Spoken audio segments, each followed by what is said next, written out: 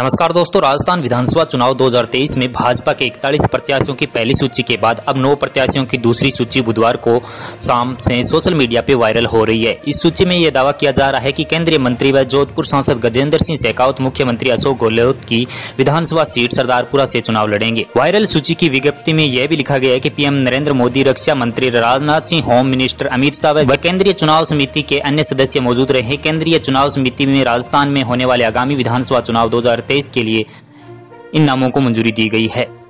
आशीष तिवारी सिक्कर से और मनीष यादव शाहपुरा से, रामलाल शर्मा चोमू से, रेखा राठौड़ सिविल लाइन्स जयपुर से, डॉक्टर अरुण चतुर्वेदी सागानेर से, कांता सोनवाल बगरू से, ओमदास डिडवाना से और गजेंद्र सिंह शेखावत सरदारपुरा से, रविंद्र सिंह भाटी शिव से।